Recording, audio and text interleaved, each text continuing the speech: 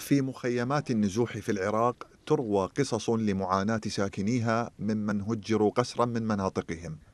فمن نفذ بجلده هاربا من القتل والجوع والمرض وغيرها لاحقته المتاعب إلى المخيم.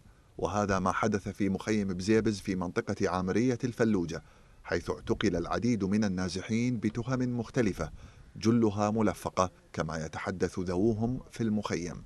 بالنسبة أنا عندي ولدي اثنين. جو هنا إحنا مهجرين واعتقلوا هنا من المخيمات. إيه، لا أمر شو اسمه آه، قبض من القاضي ولا أخذوه ومشوا. وحكموه باعدام لا مسوي شيء ولا هاي أبد. إيه، قاموا يسوون بدلاء. اللي عنده إجراء ما لهم شغل به.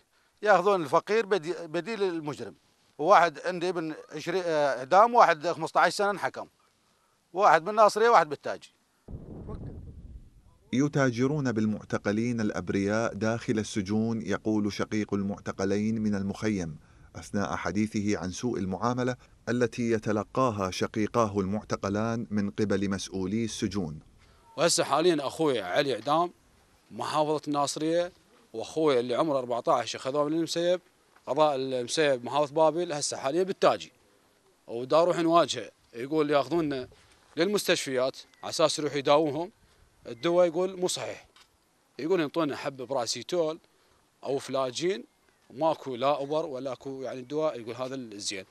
فلوس نحول لهم حواله من نحول لهم الفلوس للمعتقلين نروح نواجههم مرة ثانية يقول ما اتصلنا.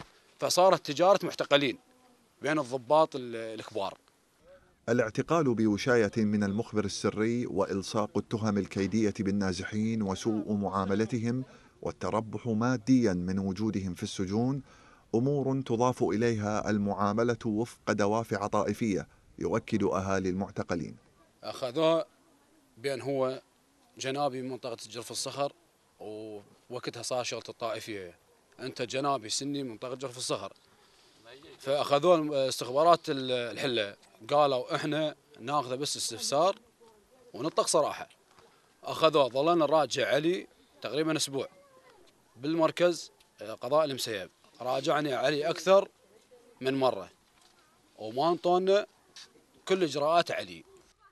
ما ترصده الكاميرات من شهادات لأهالي المعتقلين في العراق يعد جزءا يسيرا من قصص الانتهاكات التي ترتكب بحقهم بعلم السلطات الحكومية في ظل غياب واضح لدور القضاء وباقي الأجهزة المعنية بوقف الاعتقالات الكيدية والانتهاكات ضد المعتقلين في السجون.